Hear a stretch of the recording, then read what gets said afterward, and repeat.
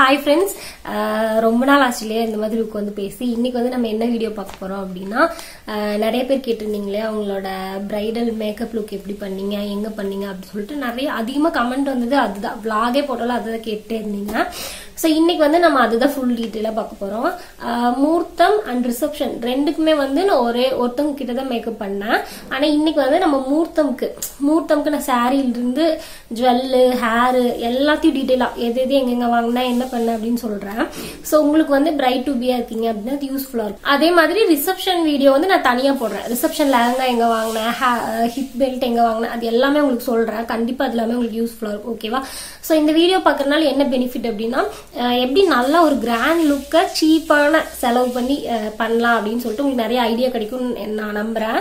So first இன்னைக்கு மூர்த்தம் look பார்க்கலாம். மூர்த்தம்க்கு வந்து சாரி ஓகேவா பாயிண்ட் மறந்துடும் அப்படின்னு சொல்லிட்டு எழுதி வச்சிருக்கேன். ஏதாவது சொல்லாமல் இருக்கு. மிஸ் ஆயிடக்கூடாது அப்படிங்காக அப்பப்போ இங்க பார்த்தா தப்பா நினைச்சுக்காதீங்க. ஸோ ஃபர்ஸ்ட் வந்து சாரி சாரி தான் மெயினா சாரி வந்து நான் எங்க எடுத்தேன் அப்படின்னா இளம்பிள்ளை அப்படிங்கிற சேலம் இளம்பிள்ளையில எடுத்தேன். அங்க நிறைய பேர் இப்போ பிரைடலுக்கு அங்க எடுக்கிறாங்க. ரொம்பவே நல்லா இருக்கு அங்க கலெக்ஷன்ஸ் ஸோ saree கலர் வந்து ரெட்டு ஏன் ரெட்டு சூஸ் பண்ணேன் அப்படின்னா நாங்கள் போய் saree பார்த்து இது நல்லா இருக்குன்னு எடுக்கல. போறப்பவே வந்து ஃபிக்ஸ் பண்ணியிருந்தேன். மூர்த்தமுக்கு ரெட்டு தான் வேணும் அப்படின்னு சொல்லிட்டு. ஸோ கூட இருக்க எல்லாத்தையும் அலைய வச்சு ரெட்டே தான் வேணும் அப்படின்னு சொல்லி எடுத்தேன். அது எப்படி வேணும்னு நினச்சேன்னா saree ஃபுல்லாக ரெட்டாக இருக்கணும். பார்டர் வந்து கலராக இல்லாமல் இருக்கணும். அண்ட் பிளவுஸ் வந்து க்ரீன் கலர் வேணும். அந்த மாதிரி நான் எக்ஸ்பெக்ட் பண்ணேன். பட் அப்படி கிடைக்கல. எப்படி கான்ட்ராஸ்ட் பார்டர் இருந்துச்சு. அதில் வந்து கிரீன் கலர் பார்டர் இல்லை. நான் வந்து ரெட் சாரி கிரீன் பார்டர் அப்படி ஃபிக்ஸ் பண்ணி வச்சிருந்தேன் ட்ரெடிஷ்னலா இருக்கும் இல்லையா? மூர்த்தம்க்குனா நிறைய பேர் அதை அப்படிதான் போடுறாங்க. எனக்கு வந்து அதில் யூனிக்காக பண்ணணும்னு தோணலை. ஃபுல்லாக ட்ரெடிஷ்னலாக அழகாக இருக்கணும் அப்படின்னு. ரெட்டு வந்து ரொம்ப நல்லா இருக்கும். அதனால நான் ரெட்னாலே ஒரு ட்ரெடிஷ்னல் லுக் வரும் இல்லையா? அதனால கன்ஃபார்ம் ரெட் தான் எடுக்கணும் அப்படின்னு பிளான் பண்ணியிருந்தேன். பட் பிளவுஸ் வந்து பிளவுஸும் பார்டரும் வந்து வயலட் நான் எக்ஸ்பெக்ட் பண்ணல. என்ன சொல்றது? இருக்கிற சாரிலேயே வந்து இது பிரைட் ரெட் ரெட்டும் இல்லாம பிங்க்கும் இல்லாம இது ஒரு மாதிரி கலர் ரொம்ப நல்லா இருந்துச்சு. போட்டோஸ்க்கு நல்லா இருக்கும் அப்படின்னு தோணுச்சு எடுத்துட்டோம். பட் நான் கிரீன் தான் ஆசைப்பட்டு அது கிடைக்கல. ஸோ வயலட் பார்டரு அதுக்கு வயலட் பிளவுஸ் தானே போட முடியும். அப்போ கூட நான் யோசிச்சேன் கிரீன் பிளவுஸ் போட்டுடலாமா அப்படின்னு. சரி ஏன் சொதப்பணும்? சப்போஸ் செட் ஆகலைன்னா என்ன பண்றது? புதுசா ட்ரை பண்ணுவேன்னு சொல்லிட்டு வயலட் பிளவுஸே எடுத்துட்டோம். ஸோ இந்த மாதிரி தான் saree எடுத்தோம். Saree வந்து சேலம் இளம் பிள்ளையில எடுத்தோம். அதோட விளாக் வீடியோ கூட நான் உங்களுக்கு போட்டிருப்பேன்னு நினைக்கிறேன். அது லிங்க் உங்களுக்கு டிஸ்கிரிப்ஷன்ல கொடுக்குறேன் ஸோ saree இப்படி தான் எடுத்தோம் சாரியோட பட்ஜெட் வந்து டென் பிளஸ் நினைக்கிறேன் ஓகேவா ஆனா இதை விட கம்மி பட்ஜெட்ல இதை விட நல்ல சாரீஸும் உங்களுக்கு கிடைக்குது ஓகேவா நாங்க எடுத்த ஷாப் பேர் எனக்கு கரெக்டா ஞாபகம் இல்லை. உங்களுக்கு லிங்க் டிஸ்கிரிப்ஷன்ல கொடுக்குற பாருங்க. பட் அங்க வந்து நிறைய ஷாப் இருக்கு. நீங்க எங்க வேணா போய் எடுத்துக்கலாம். அங்கே எல்லாமே ரொம்ப நல்லா இருக்கு saree கலெக்ஷன்ஸ் ஸோ அவ்வளோதான் saree. அண்ட் நெக்ஸ்ட் வந்து பிளவுஸ் ஸோ பிளவுஸ் வந்து நான் ஆல்ரெடி சொன்ன மாதிரி எனக்கு வந்து கிரீன் பிளவுஸ் எடுக்கணும் அப்படின்னு ஆசை. கிரீன் பிளவுஸ் எடுத்து ஹாஃப் அண்ட் நல்லா ஃபுல்லாக ட்ரெடிஷ்னலாக ஒர்க் பண்ணி போடணும் அப்படின்னு ஆசைப்பட்டேன். ஆனால் க்ரீன் நமக்கு செட் ஆகல. ஒயலட் தான் கிடைச்சிது. ஸோ சாரிலேயே uh, வந்து பிளவுஸ் கொடுத்துருந்தாங்க. அது வந்து ஃபுல்லாக ஒர்க்காக இருந்துச்சு. ஸோ அது வேணான்னு சொல்லிட்டு அதுக்கப்புறம் தனியாக ஒரு சில்க் காட்டன் எடுத்து சாரி பிளவுஸ் ஸ்டிச் பண்ணோம். ஸோ பிளவுஸும் வந்து ஹேண்டு வந்து ரொம்ப நாளைக்கு முன்னாடியே நான் கன்ஃபார்மாக இருந்தேன். என்னனாலும் சரி ஹாஃப் ஹேண்டு தான் போடணும் அப்படின்னு சொல்லிட்டு. எங்கள் வீட்டில் நிறைய பேர் சொன்னாங்க எம்ப்ராய்டரி ஒர்க் பண்ணுற ஸோ நீ ஃபுல் ஹேண்ட் போட்டிங்கன்னா அந்த ஒர்க்கு நல்லா தெரியும் அப்படின்னு சொல்லிட்டு. பட் எனக்கு தெரியும். என்னதான் வந்து ஒரு கலெக்ஷன் நல்லா இருக்கு அப்படின்னா அதை அப்படியே வாங்கி நம்ம போட்டுக்க கூடாது. ஏன்னா வந்து அது நமக்கு செட் ஆகாது. இன்னொருத்தவங்க போட்டிருப்பாங்க அவங்க அவங்களோட உடம்புக்கு வந்து அது அழகா ஃபிட் ஆயிருக்கும். நமக்கு அது ஃபிட் ஆகாது இல்லையா? ஸோ அதனால ஃபுல்லா நல்லா இருக்கும். அப்படியே என்ன சொல்றது லீனா அழகா இருக்கவங்களுக்கு நல்லா இருக்கும். நமக்கு தான் வந்து கொஞ்சம் கையும் குண்டு நமக்கு கொஞ்சம் குண்டா இருக்கும் இல்லையா? அப்போ ஃபுல் ஹேண்ட் போட்டா இன்னும் குண்டா தெரியும். அண்ட் இன்னொன்னு என்ன அப்படின்னா நார்மலாவே நீங்க பிளவுஸ் வந்து ஃபுல் ஹேண்ட் போட்டா கை குண்டா தெரியும். அண்ட் பிளவுஸ்ல ஒர்க் பண்ணீங்க அப்படின்னா இவ்வளோ என்ன சொல்றது ஒரு கிளாத் இப்படி இருக்கு அப்படின்னா இது வந்து ஸ்கின்னோட இப்படி ஒட்டி இருக்கும். நீங்க ஒர்க் பண்றப்ப இவ்வளோ இன்ச் வந்து பிராட் ஆகும். அப்ப இன்னமும் கை அதிகமா தெரியும் ஓகேவா என்கேஜ்மெண்ட்ல கூட எங்க அம்மா ரொம்ப ஆசைப்பட்டாங்கன்னு சொல்லிட்டு என்கேஜ்மெண்ட்ல என்ன சொல்றது எல்போ ஸ்லீவ் ஸ்டிச் பண்ணியிருந்தேன். அதை நான் அந்த போட்டோ கூட உங்களுக்கு இன்க்ளூட் பண்ற பாருங்க. அதுல வந்து நான் ரொம்ப குண்டாவே தெரிவேன். அண்ட் அந்த போட்டோக்கும் மூர்த்தம் பிளவுஸ்க்கு பாத்தீங்கன்னா இதுல வந்து லீனா ஒரு மாதிரி ஃபிட்டா இருக்கு மாதிரி தெரியும். அதனால ஹாஃப் ஹேண்ட் தான் எடுக்கணும் அப்படின்னு சொல்லி ரொம்ப கன்ஃபார்மா இருந்தேன். ஸோ ஹாஃப் ஹேண்ட் அப்படின்னா வந்து பெருசா எம்ப்ராய்டரி ஒர்க் பண்ண முடியாது இல்லையா? அதனால ரொம்ப சிம்பிளானது தான் காட்டினாங்க. சும்மா ஒரு பார்டர் வச்சு அந்த மாதிரி தான் காட்டினாங்க. நான் என்ன நினைச்சேன்னா ஹாஃப் ஹேண்டு ஆனா ஹெவி ஒர்க் பண்ணணும் அப்படின்னு நினைச்சேன். எப்படின்னு எனக்கு தெரியல. ஸோ அதனால தான் ஃபுல்லா ஃபுல்லா பீடு வச்சுட்டேன். அந்த வயலட் வந்து அங்கங்க தான் தெரியும். ஃபுல்லா பீடு அப்ப red red sari and golden அதான் அதிகமா தெரியும். வயலட்டோட உங்களுக்கு போட்டோ பார்த்தா தெரியும்னு நினைக்கிறேன். ஸோ கோல்டன் அண்ட் வயலட் அது கான்ட்ராஸ்டா நல்லா அமைஞ்சிருச்சு. வயலட் எப்படி வருமோ நானும் கூட நினைச்சிட்டு இருந்தேன். பட் அது ஹெவியா ஒர்க் பண்ணோடனே ரெட்டுக்கும் வயலட்டுக்கும் வந்து அது ஒரு மாதிரி நல்ல காம்பினேஷனா இருந்துச்சு. எனக்கு வந்து மூத்தம் யூனிக்கா போடணும் அப்படின்னு ஆசையே இல்லை. எனக்கு ட்ரெடிஷ்னலா போடணும். ஆல்ரெடி இருக்கிறது மாதிரியே போட்டாலும் பரவாயில்ல. பட் ட்ரெடிஷ்னலா ரொம்ப ட்ரெடிஷ்னலா இருக்கணும் அப்படின்னு ஆசைப்பட்டேன். அதனால எனக்கு வயலட் பிடிக்கல. கிரீன் தான் வேணும்னு ஆசைப்பட்டேன். பட் அதுவே அமைஞ்சிருச்சு. அது ஒரு மாதிரி யூனிக்காவும் நல்லா இருந்துச்சு. அதனால எனக்கு வந்து கொஞ்சம் ஜப்பியா இருக்கீங்க அப்படின்னா ஹாஃப் ஹேண்ட் போடுங்க. ஓகேவா நிறைய பேர் நினைப்பீங்க ஹாஃப் ஹேண்ட் போட்டா இந்த இடத்துல கை அசிங்கமா தெரியும் அப்படின்னு. ஹாஃப் ஹேண்ட் போட்டா நீங்க கொஞ்சம் சின்னதா தெரிவிங்க. ஃபுல்லா பார்த்தா ஒரு ஸ்ட்ரக்சரா இருக்கும்.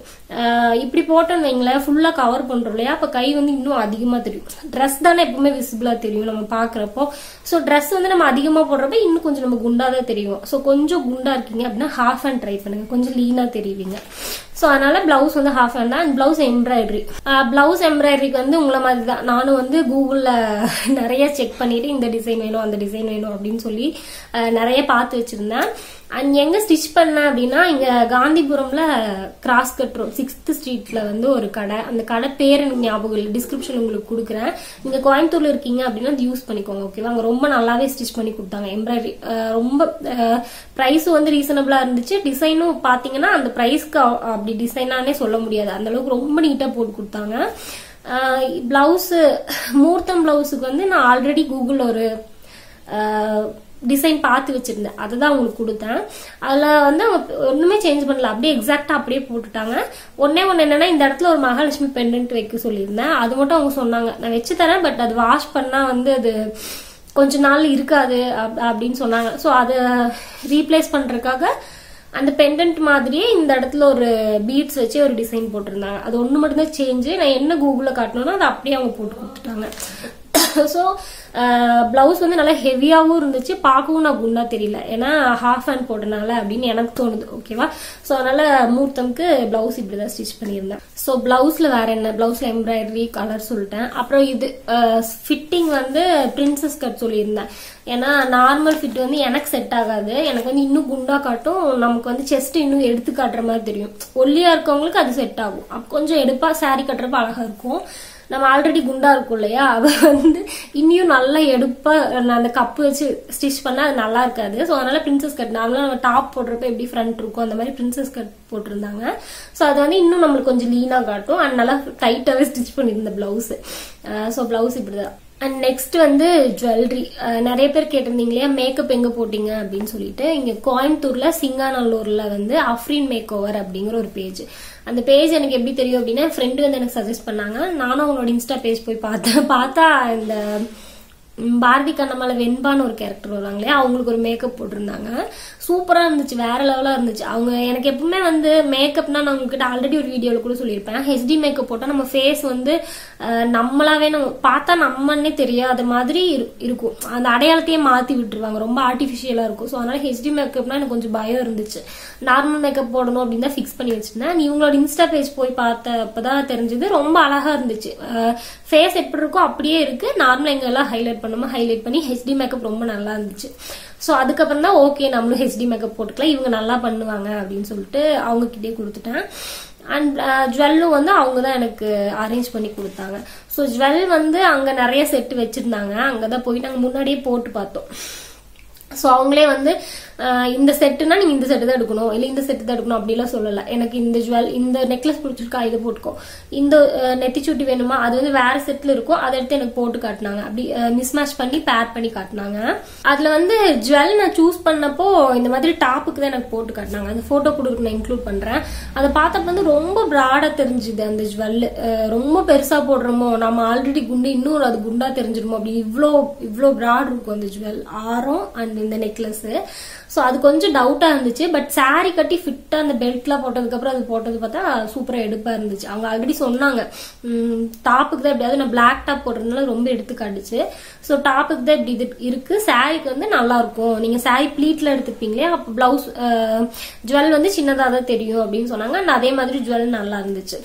அதுக்கப்புறம் ஸ்டெட்டு ஸ்டெட் வந்து அந்த ஜுவல் கூட வந்தது நான் எடுக்கல. அது வந்து ரொம்ப சின்னதா இருந்துச்சு. எனக்கு நார்மலாவே கொஞ்சம் குண்டு குண்டு ஸ்டெட் போட ரொம்ப பிடிக்கும். அண்ட் அவங்களும் சொன்னாங்க உங்க ஃபேஸ்க்கு இந்த ஸ்டெட்டு நல்லா இருக்கும். அப்படின்னு சொல்லிட்டு அது மட்டும் இல்லாம அந்த ஸ்டெட்டு வந்து அவங்க கடையில வந்து வாங்கி வச்சதுல இருந்து ஃபர்ஸ்ட் டைம் யூஸ் பண்ணதே நான் தானா. ஏன்னா நிறைய பேர் வந்து போட்டு போட்டு பார்த்து நிறைய ஃபேஸ்க்கு அது செட் ஆகலையா? அவங்களே சொன்னாங்க.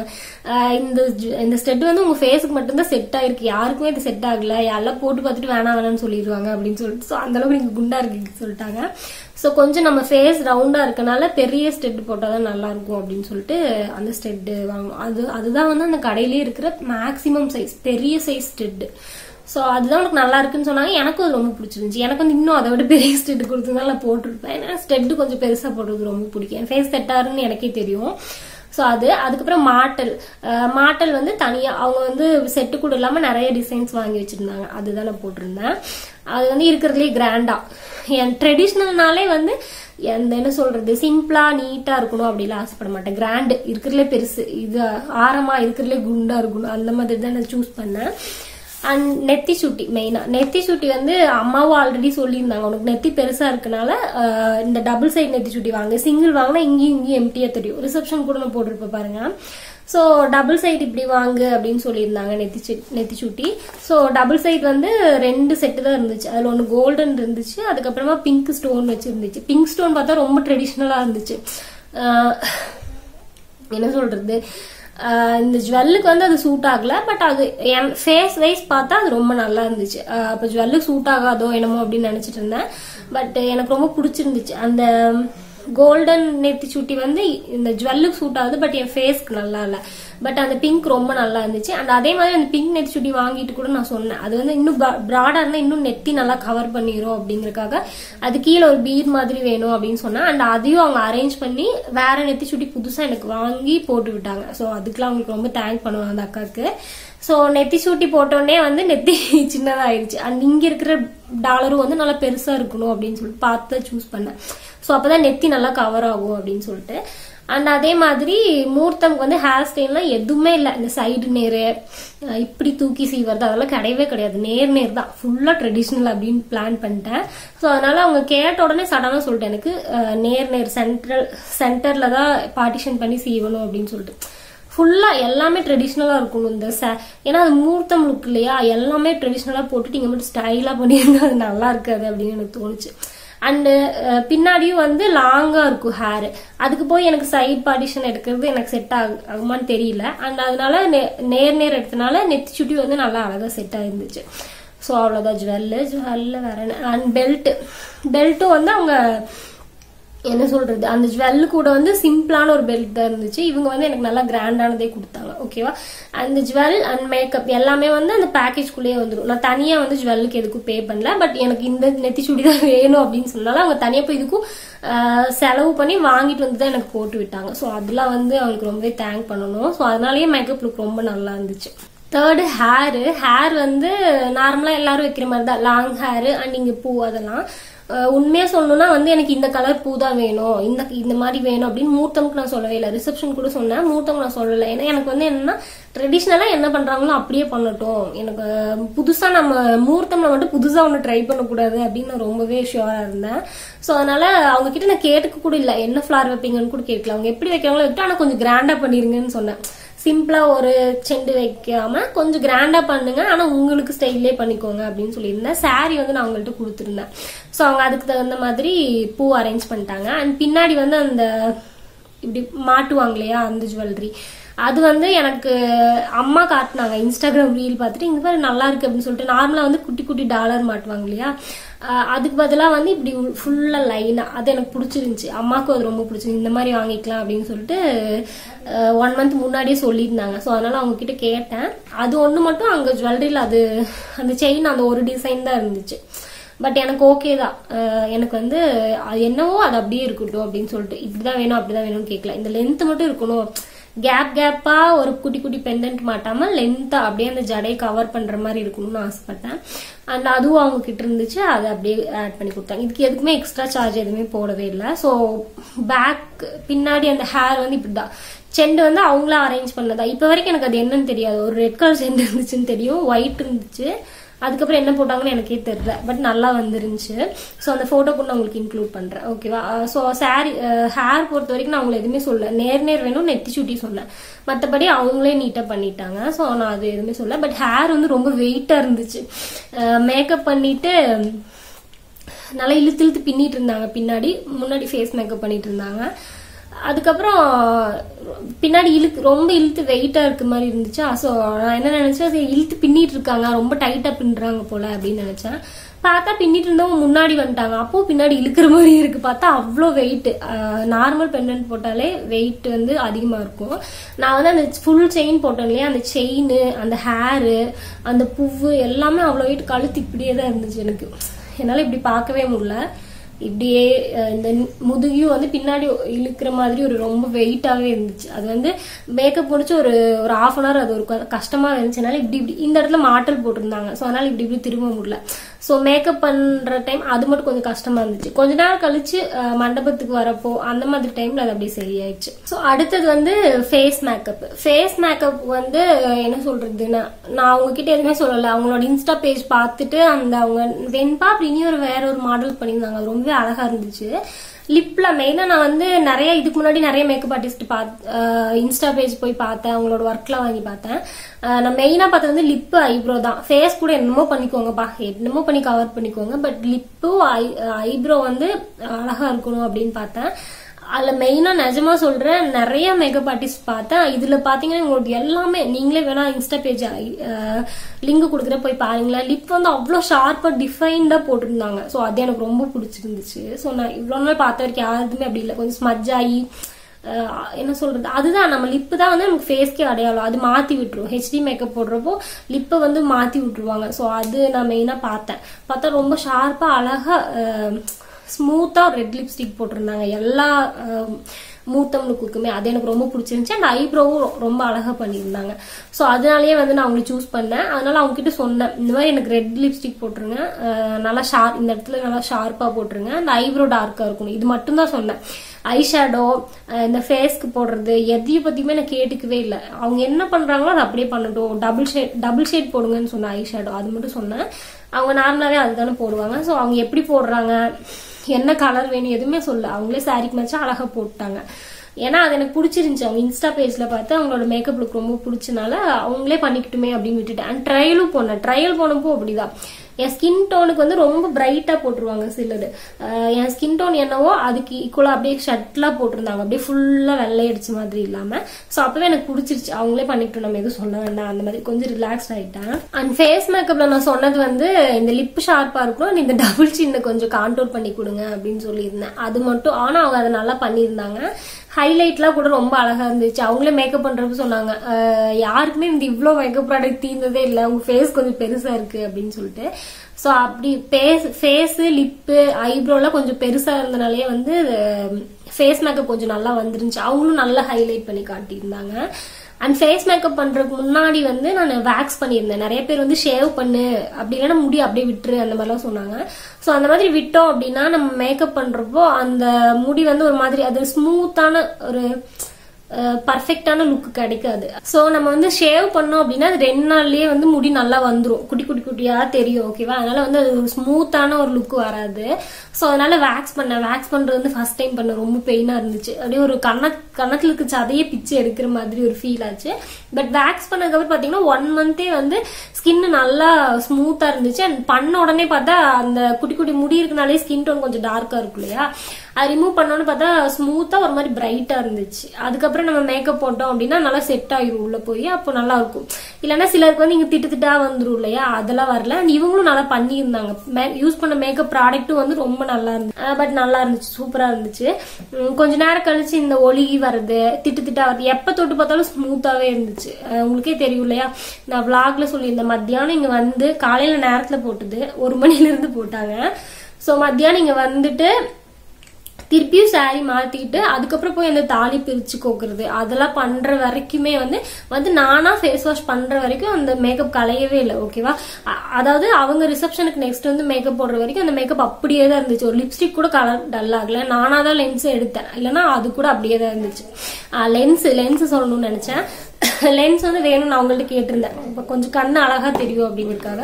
அதுவும் வந்து அவங்களே தான் அரேஞ்ச் பண்ணியிருந்தாங்க. என்ன கலர் வேணும்? அதனால லென்ஸ் பத்தி எனக்கு அதிகமா தெரியாது. எதுவுமே நான் கேட்கல அவங்களா அரேஞ்ச் பண்ணி பண்ணதுதான் லென்ஸ் எல்லாம். அண்ட் சாரி சாரி சொல்றப்ப மறந்துட்டேன். சாரி ப்ளீட் ப்ளீட் வந்து நான் நினைச்சேன். இவங்க கிட்ட அவங்க அவங்களே எனக்கு ப்ளீட் எடுத்துட்டு வந்துட்டாங்க. எடுத்துட்டு வந்துட்டு உடனே வியர் பண்ணி கொடுத்துட்டாங்க. நம்ம வந்து ஆல்ரெடி வீடியோ போட்டிருந்தோம் இல்லையா? எப்படி ப்ளீட் எடுத்து வைக்கிறது அப்படின்னு சொல்லிட்டு.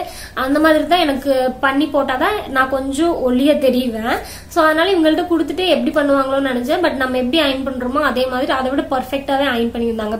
ப்ளீட்லாம் வந்து ரொம்ப குட்டியாவும் இல்லாம ரொம்ப பெருசாவும் இல்லாம கரெக்டா எனக்கு செட் ஆச்சு இதுக்கு நான் அவங்க கிட்ட சொல்ல இல்ல. ரொம்ப அழகா எடுத்திருந்தாங்க. இல்லைன்னா நிறைய பக்கம் ப்ளீட் பெருசா எடுத்துருவாங்க. இல்ல சின்னதா எடுத்தாங்கன்னா சைடில் ஒரு மாதிரி அசிங்கமா தெரியும். சோ அந்த மாதிரி இல்லாம எவ்வளவு கரெக்டா இருக்கணுமோ அவ்வளவு பர்ஃபெக்டா எடுத்திருந்தாங்க ப்ளீட் சோ அதுல வந்து கலையவே இல்லை. நானா வந்து சாரி கழட்டி போடுற வரைக்கும் சைடு ஃப்ரண்ட்டு இங்க எல்லாமே எடுத்து அழகா அயன் பண்ணி வச்சிருந்தாங்க. அது எல்லாமே கலையவே இல்லை. எனக்கு வந்து ஒரு சாரி கட்டின ஃபீலே இல்லை. மண்டபத்துல போய் டான்ஸ் எல்லாம் ஆடணும் இல்லையா? அப்ப கூட கலையில் வேர்க் வேர்க்க கூட இல்லை எனக்கு ஓகேவா அந்த அளவுக்கு மேக்கப் பண்ணி நார்மலாவே எனக்கு வேர்க்காது பட் அவங்க மேக்கப் பண்ணது வந்து ஸ்வெட் ஆகி தொடச்சா கூட அந்த இடத்துல கேக்கியா டிஃப்ரெண்ட்டாக தெரியல. ஓகேவா ரொம்ப நல்லா இருந்துச்சு அந்த மேக்கப் ஸோ அவ்வளவுதான். அப்புறம் என்ன? பொட்டு. பொட்டு வந்து ஸ்டோன் இல்லாம நார்மலா பொட்டு வச்சாதான் கேமராக்கு நல்லா இருக்கும் அப்படின்னு நிறைய பேர் சொல்றாங்க. பட் எனக்கு அது அது பெருசா தெரியாது. அதை பத்தி தெரியாது. அதனால நான் அவங்கள்ட்டே சொல்லிட்டு அவங்களே போட்டு அரேஞ்ச் பண்ணிட்டு ஸ்டோன் போட்டு தான் வச்சிருந்தாங்க. பட் அது ஒன்றும் அவ்வளோ இதா தெரியல. நல்லா இருந்துச்சு ஃபேஸ்க்கு வேற தனியா நான் எதுவுமே அரேஞ்ச் பண்ணல. இது எல்லாமே அவங்களே பண்ணதுதான் நான் பிளவுஸ் எம்ப்ராய்டரி போட்டு அவங்க கிட்ட கொடுத்ததோட சரி சாரியும் கொடுத்துட்டு வந்துட்டேன். அவங்கள அடுத்த நாள் அவங்க மேக்கப் பண்ற அன்னைக்கு எல்லாமே எடுத்துட்டு வந்து அவங்களே பண்ணிட்டு எடுத்துட்டு போயிட்டாங்க. அவ்வளவுதான். சோ மூர்த்தம்லுக்கு வந்து இந்த மாதிரி தான் பண்ணோம். சோ கன்க்ளூஷன் என்ன அப்படின்னா என்னதான் சொல்ல வரேன் அப்படின்னா எனக்கு என்ன தோணுது அப்படின்னா அஹ், இப்ப ட்ரெண்டியா இருக்கு இது புதுசா வந்திருக்கு அப்படின்னு எல்லாத்தையும் எடுத்து அப்படியே நம்மளுக்கு அப்ளை பண்ணக்கூடாது. ஏன்னா நம்ம உடம்புக்கு நம்ம ஃபேஸ் கட்க்கு எது செட் ஆகும் அப்படின்னு பார்க்கணும். ஸோ இப்போ வந்து ட்ரெண்டியா வந்து நெத்தி சுட்டி இருக்கு இல்லையா? இங்கே ஒரு செயின் இங்கே ஒரு செயின் கூட இருக்குது ஆனால் அது எனக்கு போட்டால் நல்லா இருக்குமா? நல்லா இருக்காது. ஏன்னா என் நெத்தி பெருசு. ஸோ அதனால் எ- என்ன சொல் புதுசாக ஒன்று வந்திருக்கு. அதை எடுத்து நான் அப்படியே போட்டு நான் ஸ்டைலிஷாக தெரியுவேன் அப்படின்னா என்னை பொறுத்த வரைக்கும் அது கிடையாது. நம்ம உடம்புக்கு எது செட் ஆகுமோ அதுதான் நம்ம போடணும்.